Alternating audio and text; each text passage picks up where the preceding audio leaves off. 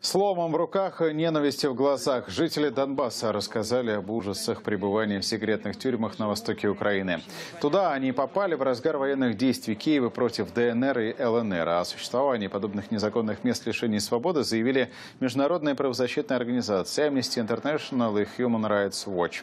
Украинские власти, конечно, все сразу же опровергли, но Лайф нашел тех пленников, которым повезло выжить после страшных издевательств. Игоря, например, схватили на пляже Волновахи вместе с женой. Пытали за то, что передавал в Донецк информацию о расположении украинских батальонов. Прямо в камере пять человек начали избивать. Ничего не говоря, просто начали избивать, э, били всем, чем только можно, и держаком от лопаты, и ногами, и, и пистолетом, электрошокером, электрошокерами, обливали водой. Вот.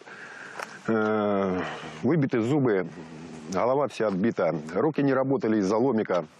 Это под э, ногами застегивают ломик, то есть наручники, и всовывают ломик. И вот на этих местах э, вот, э, держишь весь свой вес. И они еще, мало того, еще и крутят. Вот.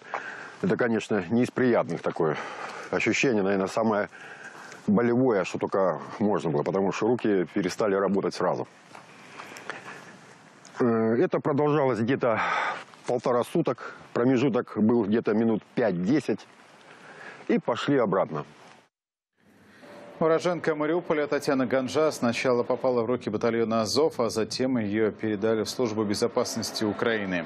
Женщину удерживали прямо в городском аэропорту и выбивали признание в работе на российские спецслужбы. Причем это признание уже было заранее написано ее мучителями.